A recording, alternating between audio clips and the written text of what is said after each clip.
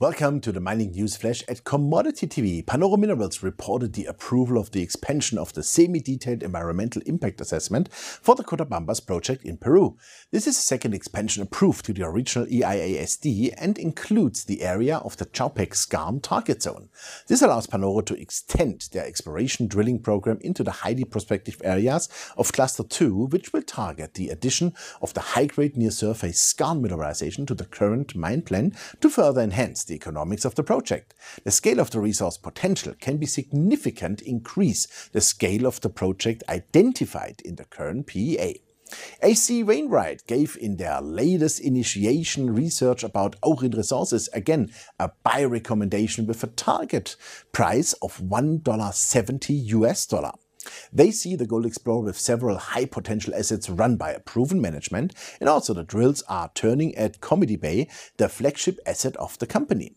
The valuation is based on an in situ value for the resources at 50 US dollar per gold equivalent ounce or 132 million US dollars.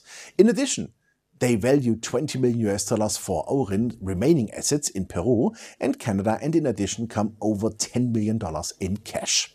White gold hit high-grade surface results of up to 29 grams gold per ton uh, at JP Ross. 11 samples returned grades above 1 gram gold per ton, with anomalous samples clustered in multi-station hits with up to 45 meters in width, defining three zones of mineralization ranging from 100 meters to 300 meters of defined strike lengths.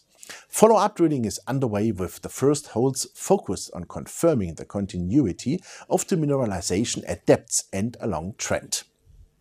Orsu Metals doubled the strike length in Zone 23 to over 600 meters with assays received for six sections over a strike length of 400 meters and to a depth of 150 to 250 meters averaging 1.86 grams gold per ton over a combined drill width of 25 meters almost in two stockworks and identified a high-grade core at Sergeyevskoye gold project in Russia. Those excellent drilling results are from additional holes at Zone 23 as part of the 10,500 meter drilling program and the program is designed to deliver an estimation of a maiden resource by the fourth quarter of 2018.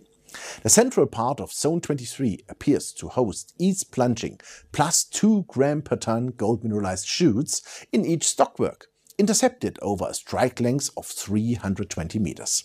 The company now expects to obtain the assays from newly drilled holes to estimate the resource contained in Zone 23 and determine further fill-in and step-out drilling remaining open down dip and to the west.